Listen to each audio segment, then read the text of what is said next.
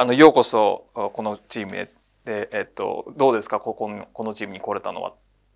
えっと、とても自分にとって嬉しいことですしこれからプレーするのがとても楽しみです。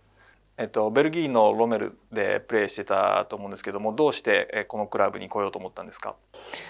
そうですねベルギー2部からオランダ1部っていうステップアップに対して、まあ、自分の目標に対して自分の目標から逆算してあのより良いステップアップだなと思い、はい、このチームを選ばせてもらいました。えー、どういうあなたはどういうプレイヤーですか？えっ、と仕掛けれて裏にも抜けれてっていうまあ体が大きい相手に対してはすごい、まあ、相手も嫌がるようなプレーができるのかなって自分の中で思ってますし、まあ、その中でも、まあ、点決めたりアシストしたり結果に結果を多く残したいなっていうふうに思ってます。